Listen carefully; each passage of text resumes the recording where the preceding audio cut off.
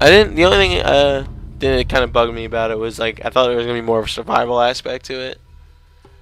It was gonna be more realistic. And you know it it kind of went the non-realistic route, but I mean that's that's fine. I guess I just I thought it was gonna be like about saving your friends and like while saving your friends like having to like hunt deer when you get hungry and shit. Like I thought it was gonna be like a realistic thing like that, kind of like a survivor kind of game. But I suppose that would get annoying. I suppose that would get annoying. It just that's what I thought. Because it was like you gain experience from hunting things and shit like that. I mean, I didn't explore lots around the island, but I did the optional tombs. The only other things I can imagine there would be would be like I don't know, just fucking like the GPS things, those treasures, all for like scavenge parts. What do you mean the upgrades? The upgrades, like the, they were, they were eh. The ones for the bow were cool, but the ones for every other weapon were kind of, except for the incendiary bullets, the shotgun, they're kind of just like, oh, helps me aim and does more damage. Oh, helps me aim and does more damage. Oh, helps me aim and does more damage. Cool, but like the bow is like uh, fucking explosive shit. Here's a fucking rope. Here's fire arrows.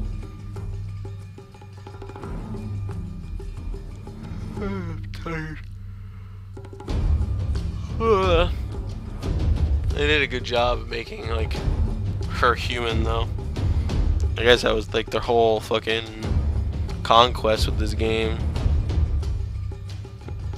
Because, like, the whole thing this game was like when every other Tomb Raider was basically just like, look at my tits, look at my tits. No one really played it or anything, but you know, look at my tits. So, yeah, they wanted to like flesh her out uh, it's ironic, it's ironic phrase to choose, but flesh her out to um make it more appealing to a modern day audience. Because I believe that modern gamers don't really care about tits. I mean, they care about tits, but not in games. Like, I mean, like they're nice if they're there, but like this is me personally. They're nice if they're there, but I'm not gonna purchase game for tits. Like I play games to enjoy story, to enjoy stories and have fun. And if I wanted tits, I would go out to a bar and talk to a girl. My voice cracked when I said girl. If I wanted, if I wanted tits, I'd go out to a bar and talk to a girl. One chocolate milk, please. That's what I order at the bar. Uh, um, but yeah, I don't know. That was just me. I never seen like, even though I was younger, I never saw like the like glory of bringing tits to video games because it doesn't look natural. Like when I was younger, it didn't look natural. Didn't look sexy. Like now, you can you look at Laura Croft in this game, you're like, damn, she looks sexy. Even if she's not a real person, you're like, that is like the woman she was modeled after is a beautiful fucking woman, and therefore this thing, this creation is beautiful. But back in the day, it'd be like, oh, look at them polygons. them them triangle ass tits. That's hot. That's how I always saw it. Was just like, it's weird. But, yeah, they did a good job. She seemed human. I feel like they could have done, um, since it was an origin story, they could have done better to build on her character like some backstory. Like there was shit with her father, but I mean, other things. Not like, not like, like what they gave you was enough, but they could have told it better. I guess what I'm trying to say. Yeah. Who was Roth in connection to her anyway? Like, I guess her dad's friend. I don't think they outright said it. Could be wrong. Could be wrong. Think he was just like, think he was like, oh, you're a Croft, you'll be fine. And I didn't say it, but I just assumed like, oh, you know, and he was like, oh, you're more and more like your father. And I was like, oh, must be like Peppy from Star Fox. I've never played a Tomb Raider though. Before this one, this is the first. This popped my Tomb Raider cherry.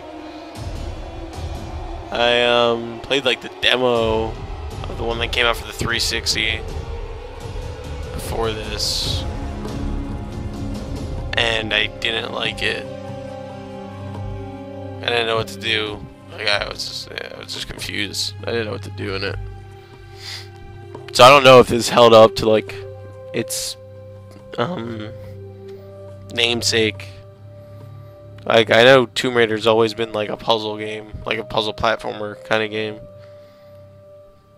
At least I think so. so, yeah. If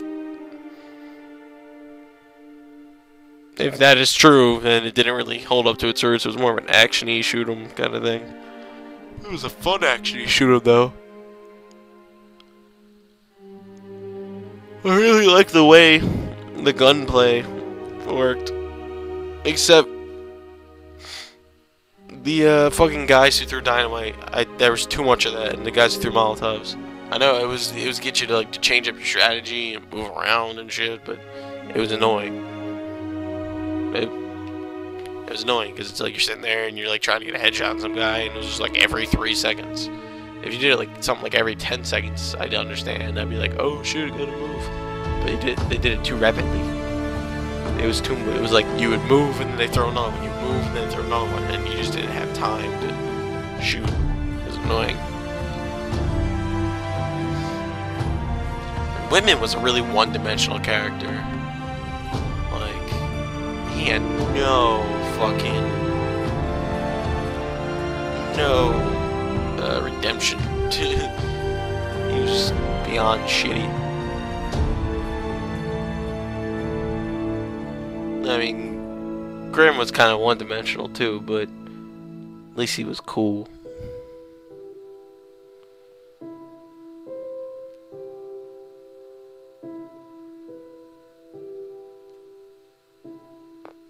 I don't know. It, was, it was a fun game. Yeah, the only other thing I'm confused about is is this supposed to be a reboot or an origin story? Because then if it's, if it's a reboot, then it means it's gonna be more. Which I'm, I'm excited. I would try. Um, but if it's like an origin story, does that mean that like every Tomb Raider is supposed to come after this? Is like like this is like the like the beginning and every Tomb Raider 4 is supposed to come up after this. Because if so, then, like, where the fuck did she have, like, a cell phone and shit?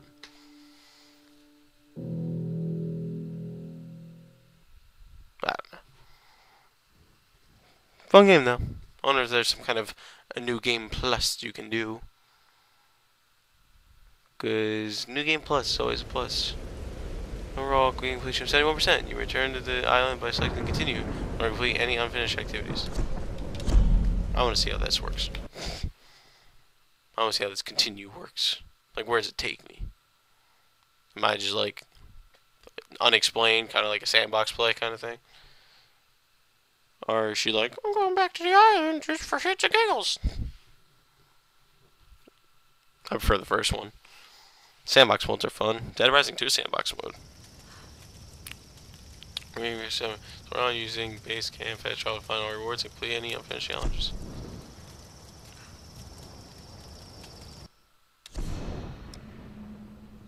Okay. Yeah, Yeah, it's just kind of like a sandbox thing. That's cool. I mean, it's I, I like when games do that because it still lets you like play your game. Because a lot, like a lot of games are just like, oh yeah, whatever, you beat it, it's over. Fucking controller turned off. You can't play it anymore. You gotta restart it if you want to play it. So it's cool that they're like, yeah, here, here you go, fucking do what you want. Either that, or they they do that thing where it's like, go back to before you beat the game, and then you can do everything you want it. I hate those. Hate's a strong word. I dislike those. I prefer these because there you're like, oh yeah, I can, but it's not the same feeling.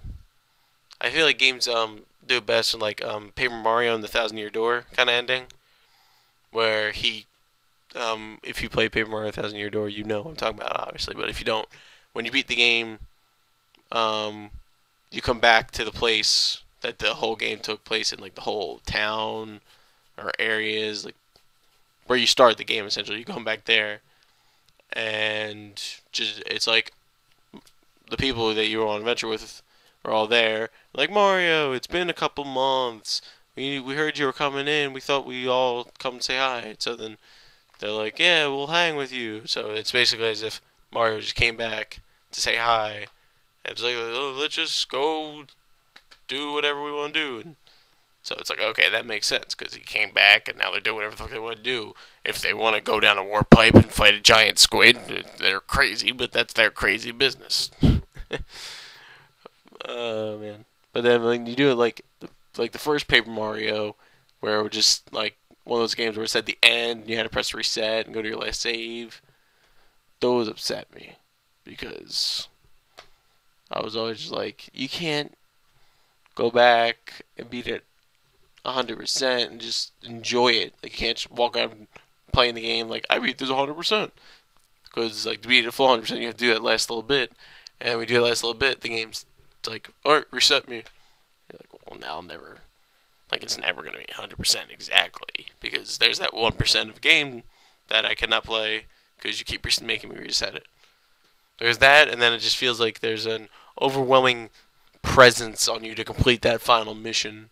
You can't just be like, I gotta go collect all these side thingies, even though, you know, the world's on fire and I need to put it out. I'm rambling. I hope you enjoyed this Let's Play. I hope you come around for the next Let's Play, which is either going to be Bioshock Infinite, Donkey Kong Country Returns, or Psychonauts. Uh, and I love you all in a totally non-physical way because I'm saving all my physical love for Laura. Because look at that. Alright, man. Alright, like, look at that. Just shh and look at that.